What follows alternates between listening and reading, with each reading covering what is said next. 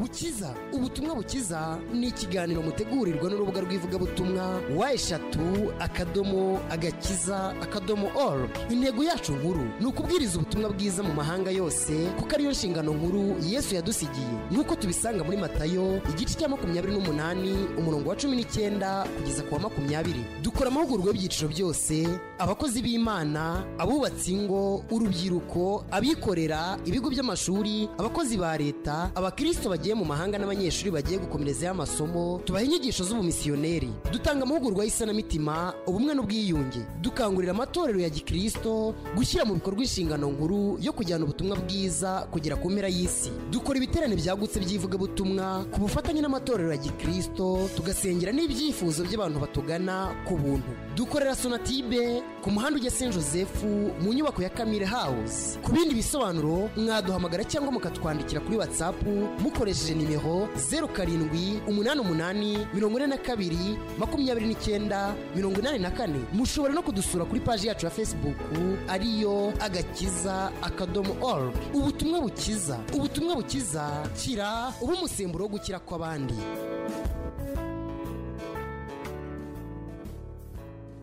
Turabasuhuje amahoro y'imana abane namwe. Muri kumwe na pasiteri desire habyarimana nk'uko mumenyereye muri aya masaha tugiye gusenga kugira ngo dukomeze twumva ijambo ry'imana. Data mu izina rya yesu ngushimiye ubuntu duhaye bwo kuba imbere yawe. Turasenze kugira ngo dufashe muri uyu mwanya. Abantu bateze amatwi radiyo umuco bagirirwe neza n'imana kandi ijambo ryawe rigere ku ntego yaryo. Mu izina rya yesu. Amen.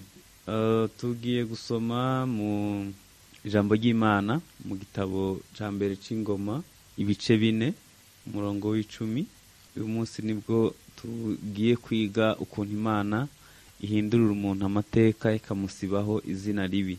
Yenda reka duhere ku murongo w'icyenda havuga ngo yabesi yarushaga bene si icyubahiro kandi nyina yamwise yabesi kuko yavuze ati namubyaranye agahinda yabesi atakambira imana y'isirayeli ati cyamukampa umugisha rwose ukagura imbago yanjye kandi ukuboko kwawe kukabana nanjye ukandinda ibyago ntibimbabaze nuko imana imuha ibyo yasabye amen. Uyu munsi tugiye kureba ukuntu imana ihindurira umuntu amateka ikamusibaho n'izina ribi. Bibiliya itubwiye ku nkuru y'umuntu witwa yabesi. Yabesi yari afite igikomere cy'uko yavukanye agahinda. Barangije bakanamwita agahinda urumva ko iyo yahuraga n'abandi bamukinaga ku mubyimba. Hari ubwo ugira ikigeragezo abantu bose bakakimenya cyangwa imibereho yawe ikaba izwi n'abantu bose nawe ukumva nta kizagukura muri ako gahinda k'ibyakubayeho.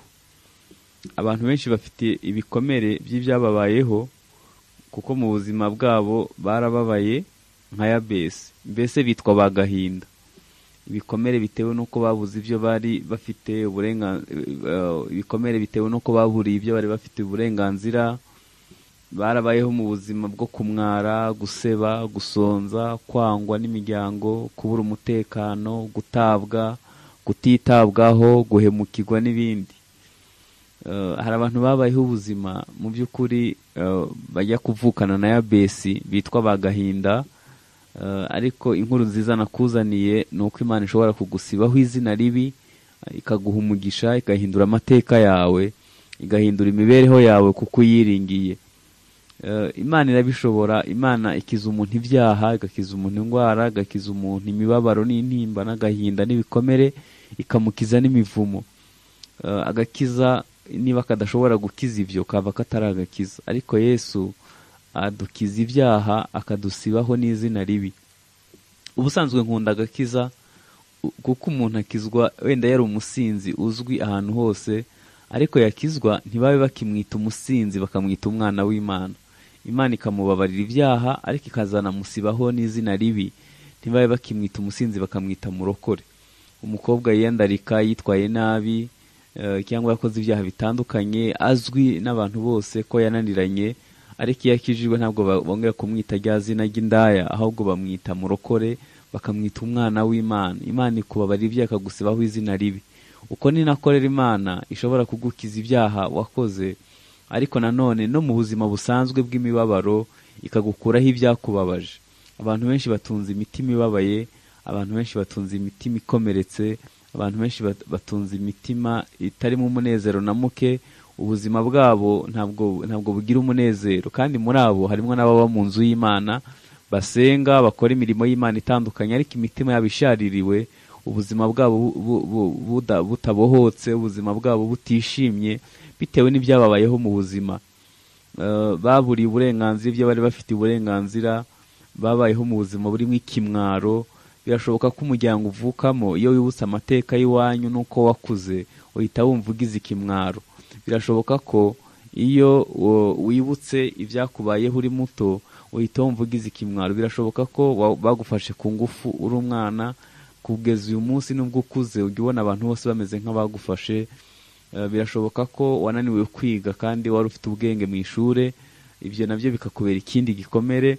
Birashoboka ko waburirwa uburenganzira n'abakagombye kubuguha aha ndavuga ko harimo no mu matorero eh, hari ubwo umuntu akomerekera no mu rusengero abakagombye kumurengera abakagombye kumwerera imbuto akaba ari bo bamukomeretsa na byo wakwihangana imana ibyo na byo yesu ashobora kubikiza. Wowe ushaka imana nka yabesi ushaka imana ihindura amateka ushaka imana ihindura ubuzima ushaka imana ishobora kugira icyo ibikoraho eh, birashoboka ko eh, wize uzi ko uzahita ubona akazi warangiza ugatera imbere wari ufite ukuntu wapanze ubuzima ariko burangije ubuzima buranga bitewe n'uko eh, wabaye ya besi nyine birashoboka ko nanone wafashe inguzanyo muri banki ujya gucuruza uzi ko uzahita wunguka birangije ntibyakunda. Birashoboka ko wakunze abantu umuntu uzi ngo azakubera inshuti magara arangije araguhemukira bari kuvamwo aragukomeretsa. Birashoboka ko nanone umubiri waguhindutse hari ukuntu wa- wari wapanze ubuzima ko buzabaho urangije uragwara birashoboka ko uriho urankurikira uryamye ku gisasiro c'uburwayi ariko imana ishobora byose n'ibyo byawe birimo. Birashoboka ko uri muri gereza ukaba uriho unkurikira eh, wenda waranarenganye utazi impamvu uri aho eh, ibyo na byo bishobora nabwiye ngo hari ikigeragezo kimenywa n'abantu bose. Ya besi iyo yahuraga n'abantu baramubwira turaho gahinda gahinda ntikarakwegura eh, ntikarakwica abantu bari bamuzi ko yari gahinda yari izina rye rya- ryasaga n'uko abayeho. Eh, ariko bibiliya yatubwiye ngo amenye ko hari imana ihindura amateka amenye ko hari imana ifite icyo yabikoraho arahaguruka ajya gushaka imana. Ajya gushaka imana kuko azi ko imana ifite icyo yakora. Yesaya mirongo itandatu na rimwe umurongo wa karindwi aravuga ngo mu cyimbo cyo gukorwa n'isoni kwanyu muzagererwa kabiri. Mu cyimbo cyo kumwara kwabo bazishimira umugabane wabo. Bibiliya idusezeranya amasezerano menshi yuzuye amasezerano yacu ni uko dukwiye kuyizera tukayabamo. Mu cyimbo cyo gukorwa n'isoni kwanyu muzagererwa kabiri. Mu cyimbo cyo kumwara kwabo bazishimira umugabane wabo. Birashoboka ko mu buzima wahuye n'ibikumwaza wahuye n'ibigucisha bugufi wahuye n'ibintu abandi bantu ba- bazi yenda abantu bakubona yenda wisize mu maso abantu bakubona useka abantu bakubona wambaye ikoti na karuvati bakubona witwa nyakubahwa hahandi ukorera abantu baranakubaha yego. Ariko hari ibyo uzi nawe bigukoza isoni iyo ubyibutse ukumva ukozwe n'isoni iyo wibutse ubuzima uko uko bwabayeho wumva ukozwe n'isoni. Ariko yoweri kabiri makumyabiri na gatanu havuga ngo nzabashumbusha imyaka ari we n'inzige. Hari imyaka iribwa n'inzige hari imyaka ibaho uh, utayifiteho kontorore ukabaho nta bije ukabaho utazi ico uzajya ejo ukabaho utazi ikizakurikiraho ukabaho udashobora kwipangira ubuzima ukabaho mbese ukabaho nta cyerekezo c'ubuzima. Ariko igisubizo cy'ibibazo byawe ni iki nkuzaniye haguruka ujye gushaka uwiteka. Haguruka ushake imana niyo yagira icyo ibikoraho. Wagerageje mu bakomeye wagerageje mu nshuti zawe wagera- wagerageje mu bo mwabanye hahandi wagerageje mu bo mwiganye wagerageje mu bantu uzi ko bafite icyo bamara. Nta n'umwe yagize icyo amara. Yesu ni we yagira icyo amara. Nkufitiye inkuru nziza yesu ashobora byose n'ibyo birimo. Yesu ashobora byose eh, ariko umanje kumenya ko na- nawe abishobora. Ukabanza kubyizera ukabihindura ubuzima bwawe ubwo yagira icyo abikoraho. Yabesi eh, yamenye ko imana ishobora byose yabesi yamenye ko imana nta kinanira arahaguruka ajya gushaka imana. Imana eh, niyo ifite ijambo rya nyuma. Yesu yigeze guhamagara abantu aravuga ngo mwese abarushe n'abaremerewe muze munsange ndabaruhura. Ntabwo hareme- ntabwo haremera ibyaha gusa. Niba uriho uranyumva utarahinduka ngo uhinduke kuba umwana w'imana niba utarakira yesu nk'umwami n'umukiza mu izina rya yesu kirisito uyu munsi uhinduke. Yesu agukize ibyaha byawe agukize n'agahinda byaguteye. Birashoboka nanone ko nkurikiye ufite amarangamutima yakomeretse ariko ukijijwe uri umwana w'imana ariko amarangamutima yawe akaba agikomeretse. Nawe yesu afite icyo yakora. Nawe yesu afite icyo yabikoraho. Ngwino kuri yesu umushake umwizeye ko afite icyo yakora ku buzima bwawe. Amarangamutima yawe agakira. Murabizi ko mu bugingo habamo ibintu byinshi. Habamo ubwenge habamo amahitamo habamo emosiyo na santima ibyo bintu byose birashoboka birashoboka ko wahitamwo nabi birashoboka ko wagira ubwenge butakuganisha mu gukundisha imana ubwenge bwawe bwose. Ariko yesu afite ikintu yabikoraho ngwino kuri yesu. No mu miyoboro wohewe na yo mu buzima busanzwe nabwo yesu afite icyo yakora niba umwemere ya besi yamenye ko bamwise gahinda nyina yamubyaranye agahinda arangije arakamuraga yitwa gahinda. Akenshi iyo urebye imibabaro abantu barimo usanga ariyo bagiye basigirwa n'imiryango. Papa wawe akaba ari umukene agahita abyara abana umunani kandi ukaba ngombwa kuko ari wowe mukuru ukazarera abo bana umunani muvukana warangiza ukabyara abawe utararangiza kurera bose yagusigiye warangiza abawe nawe ukazananirwa gukora abawe ntaho baragera abawe nabo bakazaraga abo bazabyara. Undi mubaro nawe wabahaye ukazasanga dufite amateka arimo ibikomere amateka arimo urukurikirane rw'ibibazo bitagiye bikemuka. Nawe wari utarakura wari ntaho uragera urangije utangira kurera imfubyi muvukana urangije utangira gufasha abo mu muryango nawe ntaho uragera ibibazo byawe ntibyari bwakemuke ntibyari bwabona ibisubizo urangije nawe barabikuraga nawe uzabiraga buzabyara ariko hari imana ishobora guhagarika urwo ruhererekane hari imana ishobora guhagarika ayo mateka igahindura amateka y'ubuzima bwawe warangiza ukaba mu mwanya imana yishimira. Ya besi yarahagurutse aravuga ngo guhera ubu singishaka kwitwa agahinda agahinda mfite karahagije mama yambyaranye agahinda nanjye arakandaga ntabwo nshaka gukomeza kuba muri aka gahinda kangana gatya nabwiye ko nta ibibazo ntaho byimingwa umwanya wose waba urimo ubushobozi bwose waba ufite ahantu hose waba ugeze ahantu hose hari imibabaro. Isi ntabwo isakaye ibibazo ni rusange mu bantu. Ariko imana iyo yishimira gukemura ibibazo kandi imana ntabwo yigeze ivuga ko tutazahura n'ibibazo ahubwo yavuze ko izabana natwe mu bibazo byacu bya buri munsi ikadufasha kuko yababajwe no kugeragezwa abasha gutabara abageragezwa bose kuko azi intimba icyo ari cyo. Yesu azi umubabaro icyo uvuze azi intimba icyo bivuze niyo mpamvu yishimira kudufasha mu bitugerageza. Hamwe n'ibitugerageza rero azaducira akanzu. Yabese amaze kumenya ko ari imana ishobora guhindura amateka y'umuntu bikaba bisha ibya kera byose bigakugwaho. Ajya kuyishaka yumva ko ibishoboye kuko hari n'abantu bayisenga bumva ko ibyababayeho bidashoboka ko bibavaho. Akavuga ngo ngewe ibi nitwibanire ngewe ibi ni ubuzima bwanjye ngewe nta mpinduka yaba akumva nuko bimeze. Agahinda yari afite yumva nta muntu uwo ari we wese washoboraga kukamumara. Ikibazo ni uko hari abantu benshi ibibazo byabo babibwira abandi kandi aho kubibwira imana. Abantu ntacyo babikoraho kuko nabo bafite ibyabo buri wese afite ibye yenda nubwo yabwisha ku marira uyu munsi ntabwo byaba iby'igihe kirekire kuko nawe afite imibabaro ye afite ibibazo bye ashobora kuba anafite ibikomeye kuruta ibyawe niyo mpamvu kubibwira Yesu ari byo byiza yabese ageze ku mana ayisaba ibintu bine. Icya mbere ayisaba umugisha. Icya kabiri ayisaba kumwagurira imbago. Icya gatatu ayisaba kumurinda ibyago. Icya kane ayisaba ko ukuboko kwayo kwabana nawe. Bibiriya yatubwiye ngo imana yamuhaye ibyo yayisabye byose. Imana yamuhaye ibyo yayisabye byose.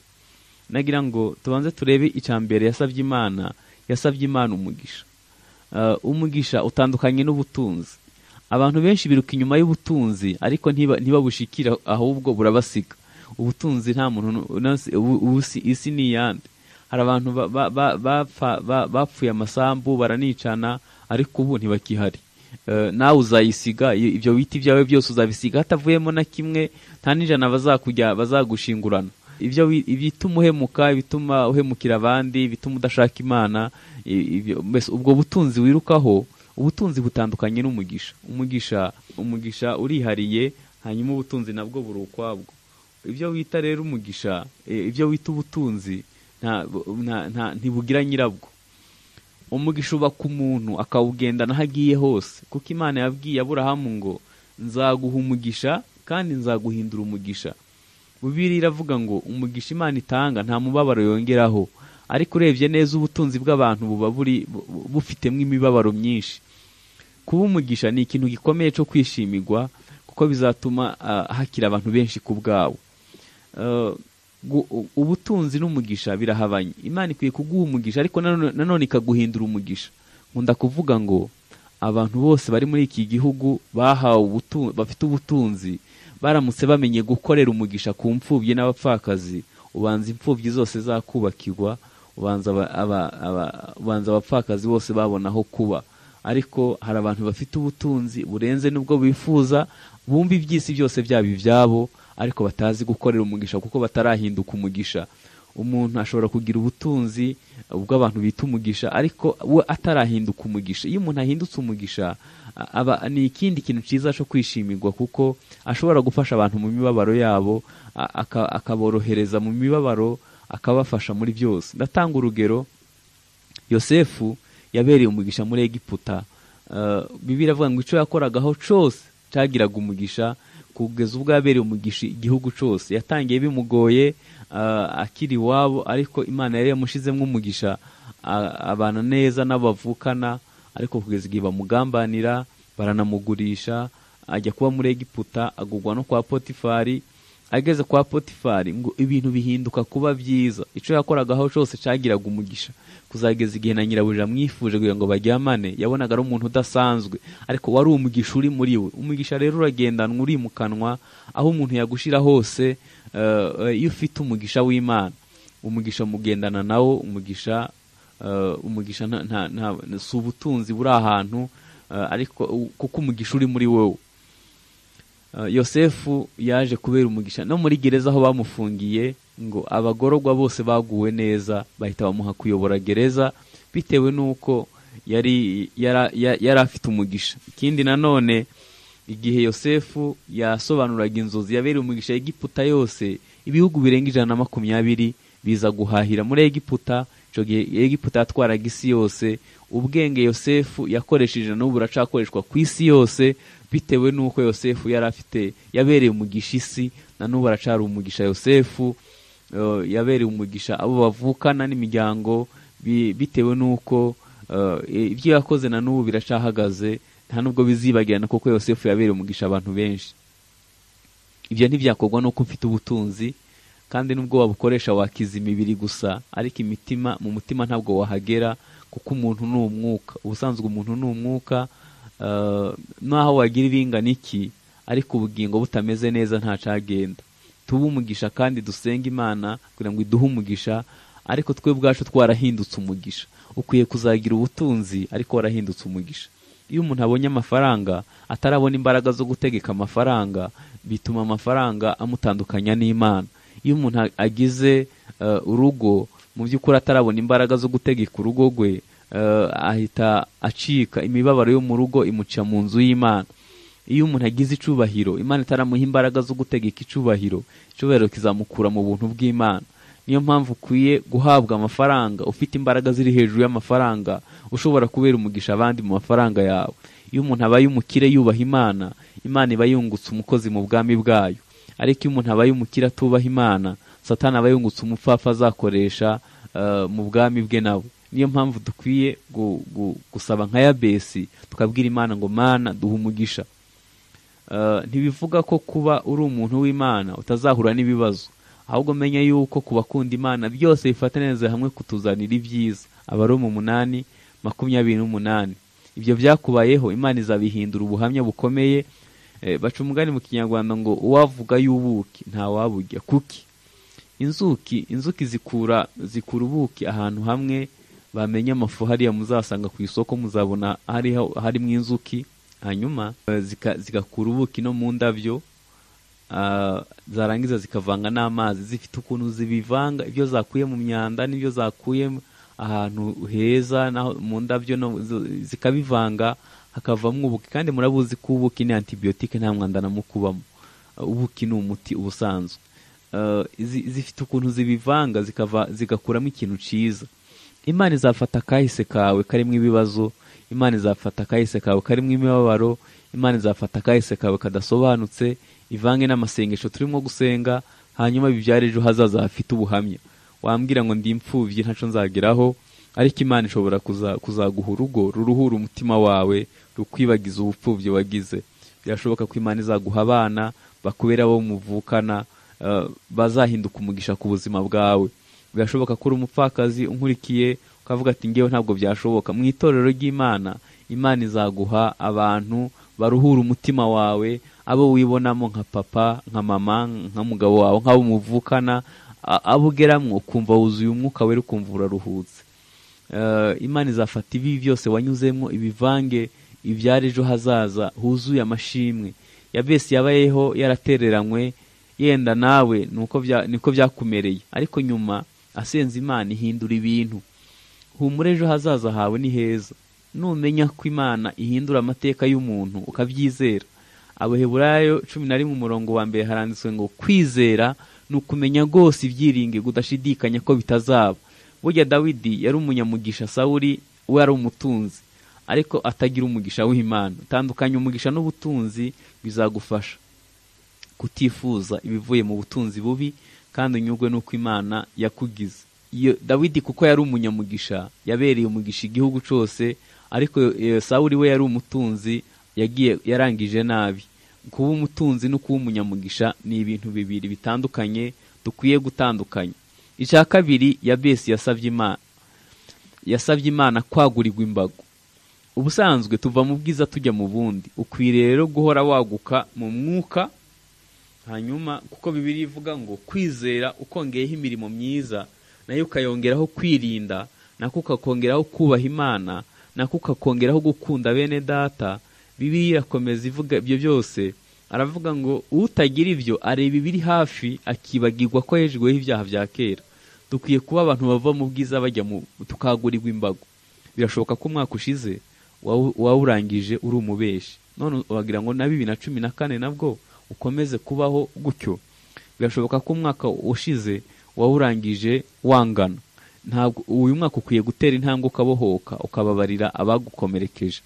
Birashoboka ko umwaka wawurangije ufite irari ry'ubusambanyi eh, birashoboka ko wawurangije ha- hari ingeso za kamere zakuraniye gutsinda. Birashoboka ko uyu mwaka imana yaguha imbaraga eh, ugatera intambwe ugakira ukabohoka.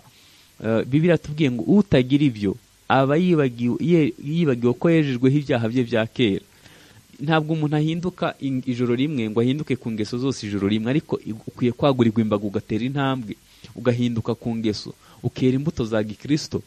Eh, ibyo urimo ntibibe ari, ingeso za kamere ahubwo ugahinduka buri munsi. Uhinduka usa na kristo yesu uhinduka ukora ibyo imana ishaka uhinduka ku ngeso za kera. Uh, niba agakiza kadashobora guhindura umutima wawe kugira ngo uhinduke uzagwingira nta- ntabwo ntabwo uzatera imbere mu gakiza. Ukwiye kuba umuntu utera intambwe. Kandi iyo urebye ubuzima bw'abantu benshi bagiye bubaha imana bagiye batera intambwe mu by'umwuka no mu buryo bw'umubiri. Ukwiye kumenya ko intambwe yose watera ari imana iyiguteje. Aburahamu atangira agiye mu gihugu cy'ubutayu ariko imana iramufasha ahahinduka umugisha ahabera umutunzi. Ubwo buzima bwawe bwumye butyo imana izabuhindura utangare. Niyo wegera imana ukaba hafi y'imana ugakora ibyo imana ishaka hari abantu bajya bavuga ngo iseta yanjye ntabwo ari nziza ngo ahantu ncururiza nta kigenda nta seta iba mbi. Imana yaguhaye umugisha aho ni ho baza kukugurira. Hari umuntu avuga hari umuntu nigeze kumva yashinze n'itorero. Arangije avuga ngo ngewe rwose ngo ahantu nashinze itorero ngo ni habi ngo ntihashoboka ngo abantu baho ngo nta kigenda. Kiretse hatari abantu. Niba hari abantu ukwiye gushaka amavuta yatuma abantu baza. Ukwiye gushaka amavuta yatuma abantu abantu baza ba- ba- bagakizwa bakirizwa aho ngaho kuko nabo bakeneye yesu. Nta seti iba mbi nta- nta- nta- si ikibazo cya- cy'aho ukorera si ikibazo cy'aho utuye si ikibazo cy'ahatagaragara ahubwo ni ikibazo cyo kutamenya ko imana ishobora kwagura imbago. Imana izagufasha ya besi yamenye ko imana itanga umugisha amenya ko imana yagura imbago z'abantu. Ukwiye ukwiye kurega imbago zi, zi ukwiye kwegera imbere ugatera intambwe mu gushaka imana mu buryo bw'umwuka mu gusoma ijambo ry'imana ukwiye kwagurirwa imbago. Ukamenya ibyanditswe byera ukuzura umwuka wera nk'abandi ugahinduka ku ngeso ubugingo bwawe bugasa na kirisito yesu ukwiye gutera intambwe. Nanone no mu buryo busanzwe bw'umubiri imana izakwagurira imbago. Kandi nanone ntabwo ukwiye gushingira ku bitaragenda ahubwo ukwiye gushingira ku buhamya bw'ibyo imana yakoze. Ese wirebye uko wari uri mu myaka itanu ishize ubu ni kuri? Nta mugisha imana yaguhaye. Yego kuko ufite iba- ufite ibibazo byinshi n'ibyo imana yakugejejeho ntabwo ubyemera. Ibyo imana yakugejejeho wumva wumva ubona ntacyo imana yakoze. Ariko imana yarakoze yaguhaye abana imana yarakoze ya- ya- yaragucumbikiye. Nubwo utara- u- turubaka inzu yawe yenda imana iguhaye gukodesha ariko ntibarakwirukana mu nzu. Eh, imana yaguteje intambwe wambara neza. Imana yaguteje intambwe ufite akazi nubwo utakemera ariko hari abashomeri barenga ibihumbi n'ibihumbi muri iki gihugu. Wewe nibura uhembwa ayo maka ariko nibura urayabona. Hari abandi bumiwe bamaze imyaka. Ukwiye gushimira imana ibyo yakoze hanyuma ikazakwagurira imbago kuko umutima wawe uzuye ishimwe yabesi hari ikindi kintu yasabye. Yasabye icya gatatu kurindwa ibyago. Eh, muzi ko imana bayibarinda mu buryo bukomeye. Bibiliya iravuga ngo abo wampaye nta n'umwe ubasha kubavuvunura mu, kiganza. Eh, kindi nanone iturinda nk'imboni y'ijisho. Yaduciye mu biganza nk'imanzi. Umubare wo mu munani mirongo itatu na rimwe ugeza ku mirongo itatu mirongo itatu n'icenda aravuga ngo ni iki cyadutandukanya n'urukundo rwa kristo yesu? Humura turarinzwe ukuboko kw'imana kuri hafi yacu iyo, iyo turi mu mwuka wo kubana n'imana neza imana iraturinda imana iradufasha. Eh, zaburi iravuga ngo uwiteka iyo ataba mu ruhande rwacu abanzi baba baratumize bunguri. Imana igihe umujinya wabo wacanwa ku buzima bwacu imana itakurinze ibyago bakumira bunguri. Imana itakurinze ibyago eh, ntab- ntabwo wabaho. Ibiduhiga ni byinshi Eh, mu buzima busanzwe duhura n'ibibazo bitandukanye. Ariko imana igenda iturinda ibyago kuko abo abo yamenye ibarinda nk'imboni y'ijisho. Yaduciye mu biganza nk'imanzi. Turi inshuti zayo turi inkoramutima zayo. Ntabwo yapfa kudutererana mu byago byacu. Eh, ubundi tugeragezwa nk'abandi ariko icyo tubarusha ni uko ukuboko kw'imana kuturinda eh, buri munsi kandi ihumure ry'imana riri kumwe n'abantu bubaha imana. Yesaya mirongo itanu na kane umurongo wa cumi na rimwe kugeza cumi na karindwi haravuga ngo yewe urengana ntihagire uguhumuriza. Nzakubakisha amabuye y'igiciro kandi nta ntwaro bacuye kukurwanya izajya ikigutwara Eh, n'iyo tuba hafi y'imana tugakiranuka tugakora iby'imana ishaka nubwo inkubi y'umuyaga yahaguruka. Eh, ukarengana ntugire uguhumuriza. Imana izakubakisha amabuye y'igiciro. Nanone nta ntwaro bacuye kukurwanya izajya ikigutwara n'ururimi rwose ruzaguhagurukira uzarutsinda hari ubwo umuntu ahungabanywa n'umuyaga ntahumurizwe ntagire umwitaho ntagire umubwira ngo komera. Ariko imana iri hafi yawe. Niba wubaha imana imana iri hafi yawe kuruta uko wabitekereza imana iri hafi yawe ikwegeye kuruta uko imyenda ikwegereye imana ikuba hafi. Birashoboka ko nanone ko umaze igihe wumva uganya wumva imana isa nk'iyaguteranyije yaguteranye mu byago ariko imana ntiyagutereranye. Mu by'ukuri eh, imana nu- n'umunota umwe satani yakumira bunguri. Imana iri kuri hafi buri munsi. Imana irokora abantu bayo buri munsi. Danyeli yarinzwe ibyago. Mu by'ukuri danyeli eh, yubahaga imana agasenga buri gihe bamushaka amakosa barayabura bamuzeho impamvu bakora inama yo kumujugunya mu ntare. Bam- bamujyana mu ntare ariko bibiliya iravuga ngo imana yohereza marayika wayo ubwo yari yesu ngo araza afunga iminwa y'intare zarashonje ariko arana na- na zo ijoro ryose. Umwami ngo arazinduka ajya ku ntare aravuga ngo danyeli mugaragu w'imana. Imana yabashije kugukiza. Imana wiringiye yashoboye kugukiza ibyago. Intare ntabwo zakuriye. Aravuga ngo yego mwami. Imana yohereje marayika wayo afunga iminwa y'intare. Ntaco nabaye. Kandi kuko nta caha na- cambonetseho imbere yayo kandi nawe ntaco nagukoreye mwami. Ngo ahita arategeka bakurayo danyeli abantu baravuga ngo hoya ngo intare zari zihaze ngo niyo mpamvu zitamuriye. Umwami aravuga ati biroroshe namwe niba bashiremo hanyuma turebe ko zari zihaze. Bibiliya iravuga ngo zibamenagurana n'amagufa yabo bataragera hasi. Eh, imana izajya idukiza ibyago izaturokora. Ntabwo imana yagukijije impfu zitandukanye imana yakurokoye impfu zitandukanye imana ya- ya- ya- yagukijije ibyago bitandukanye na n'ubu irashakurinze irashakubereye maso niba uyubaha bikaba nta makosa akugaragaraho imbere y'imana. Nanone ukaba utagambiriye gukora ibibi imana izakomeza kukuba hafi ku manywa na nijoro. Nta cyiza na kimwe izakwima kuko wubaha imana. Si ubwo gusa na morodekayi yarinzwe ibyago hamwe n'abayuda igihe bari baga- babagambaniye kugira ngo babice kuko yanze gupfukamira eh, hamani. Ariko imana iramukizanya n'abayuda. Kugeza uyu munsi muri isirayeli uyu munsi uracizihizwa uracibukwa. Igihe imana yabakiza jenoside bari bagiye gukorerwa i babuloni imana ikabafasha ikabarinda. Dawidi imana yamurinze icumu rya sawuli amugirira neza amucurangira afite igicuri ariko akajya amutera icumu. Imana imurokora icumu rya sawuli. N'abera rero bahora barindwa. Petero imana yamukijije inkota ya herode. Eh, muribuka ko herode yishe yakobo eh, ngo abonye ko ari byiza binejeje abayuda ngo ahita ashaka kwiyongeza petero amuraza muri gereza buri am- amwica. Imana marayika w'imana amanuka amusanga mu- mu- muri gereza. Arangije aramubwira ngo yambara imyenda yawe. Nkurikira tugende ngo akeka ko ari inzozi arangije aramukingurira amukiza ibyago ntiyapfa uwo munsi. Imana izagukiza ibyago imana izagufasha. Ibyo wumvaga nk'inzozi birashoboka ko uri mu byago bitandukanye. Hari ibyo wumva nk'inzozi ku buzima bwawe wumva bitazagerwaho ariko imana yagiye ikiza ibyago abera ba kera. Ubwo navuze bake cyane bibiliya yuzuye abantu imana yagiye ikiza ibyago yabesi yasabye umugisha asaba kwagurirwa imbago asaba imana ngo imana imurinde ibyago ntibimubabaze. Mu isengesho rya data wa twese hatangira havuga ngo data wa twese uri mu ijuru izina ryawe ryubaheho ubwami bwawe buze ibyo ushaka bibe mu isi. Hepfo hakavuga ngo "U- ntuduhane mu bitwosha uturinde ibyago uturinde udukize umubi.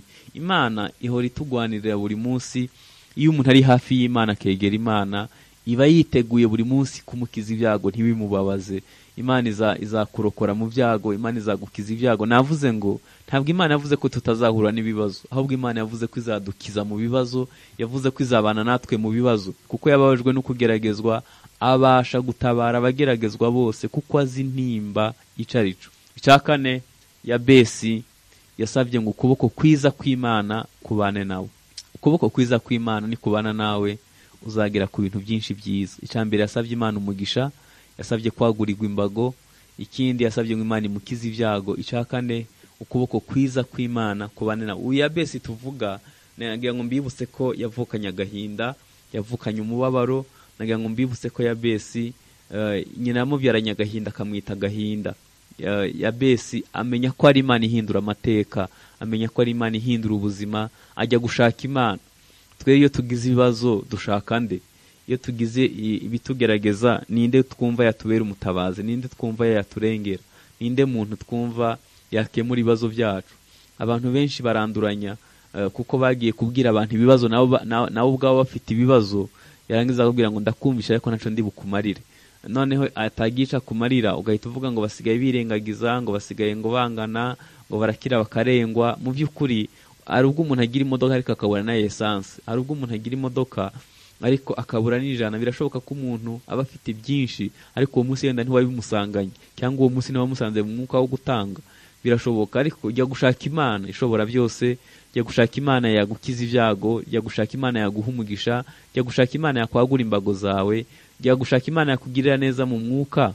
Yagirira neza ubugingo bwawe. Jya gushaka imana yakiza yaguteza intambwe no mu buzima busanzwe. Jya gushaka imana yahindura ejo hawe hazaza. Jya gushaka imana ihindura icyerekezo cy'ubuzima jya gushaka imana ifite ijambo rya nyuma ku buzima bwawe. Abantu warabashatse abantu warababwiye abantu barabizi ntaco babikozeho. Ariko imana yo ntabwo yagusezera amaramasa ifite icyo izabikoraho. Yabesi yasabye icya kane ngo ukuboko kwiza kw'imana kubane nawe. Ukuboko kw'imana kwabanye na mose kuva atumwa muri egiputa kugeza kuye y'abisirayeli. Ukuboko kwiza kw'imana gutuma binjira mu gihugu cy'isezerano ukuboko kwiza kw'imana kwabanye n'abisirayeli kuko bari bafite ukuboko kwiza kw'imana niko uko kuboko kwagwanyije farawo n'abanyegiputa bose ariko ku ruhande rw'abisirayeli gosheni nta byago byigeze bihagera. Bibiri iravuga ngo imana ihagurukana nabo. Mu butayu ku manywa yababera inkingi y'igicu kuko n'akarere gashuha cyane eh, kuri dogere zirenze mirongo irindwi eh, ukuboko kwiza kw'imana kukabana nabo. Ni ku manywa ikababera inkingi y'igicu kugira ngo ubushuhe butabica. Nijoro ikababera inkingi y'umuriro kugira ngo bayote kuko harakonja nabwo kugeza munsi ya zero. Eh, harakonja cyane nijoro iyo nkingi barayotaga kandi eh, ikongera ikabamurikira kugira ngo urugendo rudahagarara. Ukuboko kwiza kw'imana kwabatekeye umutsima witwa manu. Bamara imyaka mirongo ine barya umutsima batazi aho uvuye. Ukuboko kwi- kw'imana kwatandukanyije inyanja itukura. Eh, kurangije kurwanya abanyegiputa bari inyuma yabo kubicira no mu nyanja. Ukuboko kwiza kw'imana kwabakuriye amazi mu rutare. Imana iratangaje kuko ikanzu um- um- umwisirayeli yambaye mu butayu ari umwana yarakuraga n'ikanzu igakura. Ntabwo bigeze bahin- bahindura imyenda mu myaka mirongo ine. Agakweto bambitse umwana yavutse yarakuraga n'agakweto kagakura. Mu myaka mirongo ine ntabwo bigeze bahindura inkweto. Nubwo bajyaga manu gusa ariko nta kibazo cy'imirire mibi cyigeze kigaragara mu butayu. Bari kumwe n'ukuboko kwiza kw'imana. Imana yabatsindiye sihori na ogi. Bari abami bakomeye eh, abami bakomeye cyane muri icyo gihe. Imana yabatsindiye yeriko. Ukuboko kwiza kw'imana kwabambukije yorodani. Ukuboko kwiza kw'imana kwabahaye igihugu cy'isezerano ukuboko kwiza kw'imana ni kubana nawe uzinjira mu ijuru amahoro. Ukuboko kwiza kw'imana ni kubana nawe ibidashoboka bizashoboka. Ibitashobogwa n'abantu imana izabishobora kuko ukuboko kwiza kw'imana kuri ku buzima bwawe. Eh, ukuboko kwiza kw'imana kwabanye nehemiya.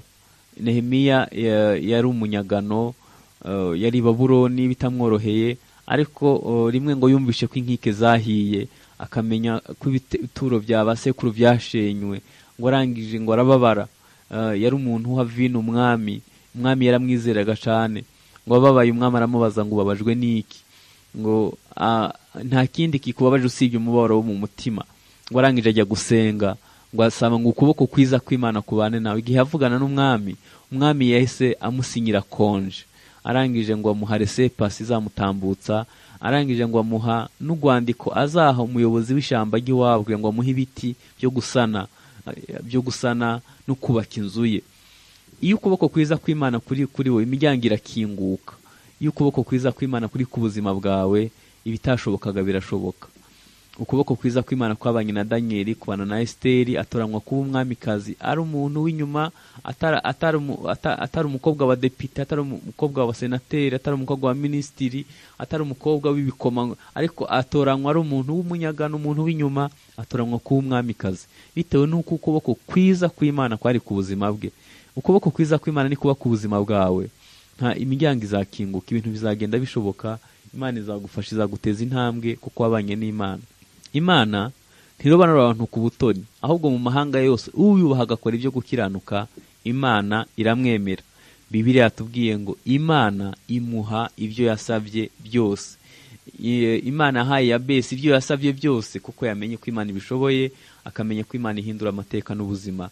Nawe nuba hafi y'imana ugakora ibyo gukiranuka nta cyiza imana izakwima imana izagukorera byose. Yabesi yavukanye agahinda bamubyarana agahinda areranywa agahinda ariko yimwe ajya gushaka imana. Shaka imana ihindura amateka y'ubuzima uhindure uh, uhindure uko witwaraga ushakishe ku mana kuko abantu bo ntaco bazakumarira ariko imana ishobora byose nta ciza na kimwe izakwima. Birashoboka ko wari wunkurikiye utarakira yesu umwami n'umukiza ngiye kugusengera kugira ngo wakire yesu. Ngiye kugusengera nawe waguye ugaruke mu nzira y'imana. Umaze iminsi ushakishiriza mu bantu ariko atari ku mana. Abantu baragukomerekeje gusa ariko imana yizakomora tugiye gusenga kugira ngo imana ihindure amateka y'ubuzima bwawe. Data mu izina rya yesu gushimiye kuri uyu muntu akwakiriye nk'umwami n'umukiza ari bwo bwa mbere mwandike mu gitabo cy'ubugingo ariho arakwaturira ibyaha yakoze muhindure kuba umwana w'imana. Umukiza imbaraga z'abadayimoni zamutwazaga igitugu. Uyu kuva uyu munsi umuha imbaraga z'umwuka wera. Umwigishe gukiranuka no gukora ibyo ushaka yesu. Sengeye abantu baguye kugira ngo bagarukane mu nzira ubakize intege nke mu izina rya yesu ubarinde ibyago. Satani ateza abavuye mu gakiza ahubwo ukuboko kwiza kw'imana kubane nabo.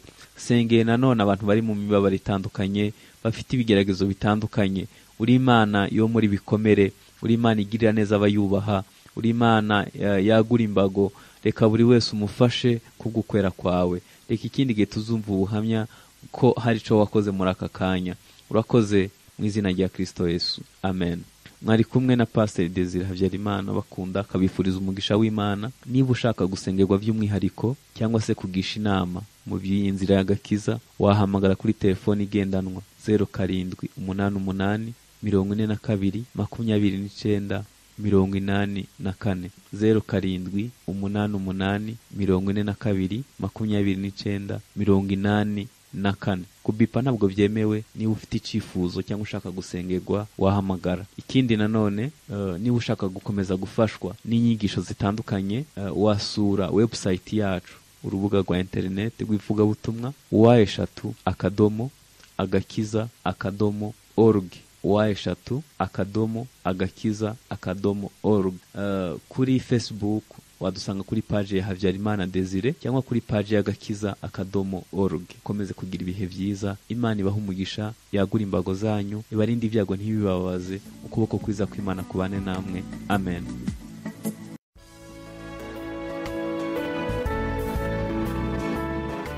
Ubutumwa bukiza ubutumwa bukiza ni ikiganiro mutegurirwa n'urubuga rw'ivugabutumwa wa eshatu akadomo agakiza akadomo org. Intego yacu nkuru ni ukubwiriza ubutumwa bwiza mu mahanga yose kuko ariyo nshingano nkuru yesu yadusigiye. Nk'uko tubisanga muri matayo igice cya makumyabiri n'umunani umurongo wa cumi n'icyenda kugeza ku wa makumyabiri. Dukora amahugurwa y'ibyiciro byose abakozi b'imana abubatsi ingo urubyiruko abikorera ibigo by'amashuri abakozi ba leta abakristo bagiye mu mahanga n'abanyeshuri bagiye gukomerezayo amasomo tubaha inyigisho z'ubumisiyoneri. Dutanga amahugurwa y'isanamitima ubumwe n'ubwiyunge. Dukangurira amatorero ya gikristo gushyira mu bikorwa inshingano nkuru yo kujyana ubutumwa bwiza kugera ku mpera y'isi. Dukora ibiterane byagutse by'ivugabutumwa ku bufatanye n'amatorero ya gikristo tugasengera n'ibyifuzo by'abantu batugana ku buntu. Dukorera sonatibe ku muhanda ujya saint joseph mu nyubako ya kamire house. Ku bindi bisobanuro mwaduhamagara cyangwa mukatwandikira kuri whatsapp